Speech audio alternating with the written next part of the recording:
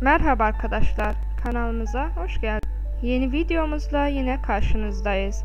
Sevdim Seni Bir Kere dizisinin heyecanla izlenen son bölümü geride kaldı. Yeni bölümde neler olacak? Eylül ve Yaz bu zor durumdan kurtulacak mı?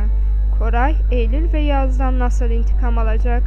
Ozan gördükleri karşısında ne yapacak? Aslım Fatih'ten kurtulmayı başaracak mı? Tüm bu sorulara videomuzda cevap bulabilirsiniz. Eylül ve Yaz'ın zor durumu devam edecek.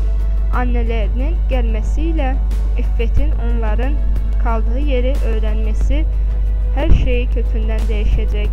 Koray ve İffet birlik olup Eylül ve Yaz'dan fena intikam alacaklar. En çok da Koray Yaz'ın canını acıtmak için her şeyi yapacaktır. Setten gelen bazı fotoğraflarda Eylül'ün acı çekerek zor durumda olduğunu gördük arkadaşlar.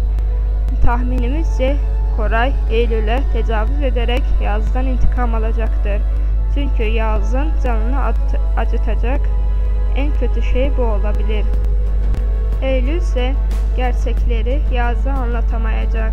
Çünkü Yaz'a anlatırsa Yaz Koray'ı öldürür ve hapse girer ve tüm hayatı kararır. Onun için ona hiçbir şey anlatmayacak ve acı çekmeye, Yağız'dan uzak durmaya çalışacak.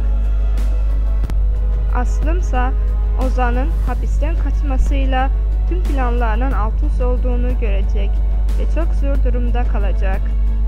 Ozan'ın hapiste koğuşunun değişmesi Aslım'ı sevindirmişti. Çünkü artık Şole'nin söylediklerine boyun eğmeyecekti. Fakat Ozan'ın hapisten kaçması her şeyi değişti. Aslım artık daha zor durumda kalacak ve Ozan'ın da her şeyi öğrenmesi Aslım'ın hayatını karartacak. O sana gerçekleri anlatamayan Aslım bir çıkış yolu arayacak. Bizden bu kadar arkadaşlar. Yeni videomuzda görüşmek üzere. Hoşçakalın.